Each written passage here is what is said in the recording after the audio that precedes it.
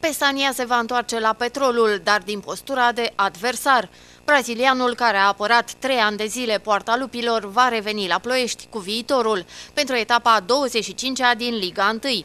Petrolul Viitorul se va disputa duminică, 21 februarie, de la ora 18, așa cum arată programul anunțat de Liga Profesionistă de Fotbal.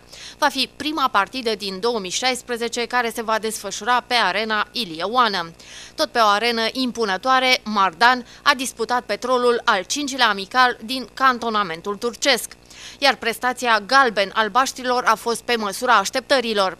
Fotbaliștii Petrolului au trecut cu 3 la 1 de Carpat Lvov, o formație importantă din campionatul Ucrainei și cel mai tare adversar întâlnit în acest stagiu. Găzarii au început cu handicap amicalul primind gol în primele minute ale partidei. Portarul Cobra, capitanul echipei și la acest meci a fost învins cu un șut de la marginea careului mare de Gustavo Blanco.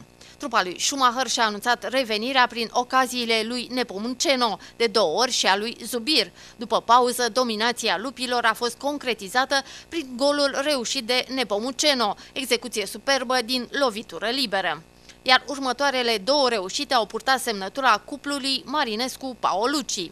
Mijlocașul ploieștean a înscris după ce italianul Paolucci l-a presat pe portarul ucrainean și l-a obligat să greșească. Apoi, Marinescu i-a întors serviciul atacantului după o lucrare cu Lezoamie.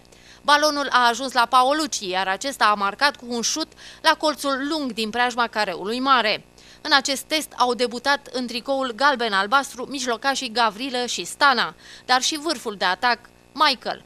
Următorul amical și ultimul din acest cantonament pentru formația ploieșteană va fi disputat luni, 1 februarie, cu gruparea austriacă de ligă secundă FC Liefering.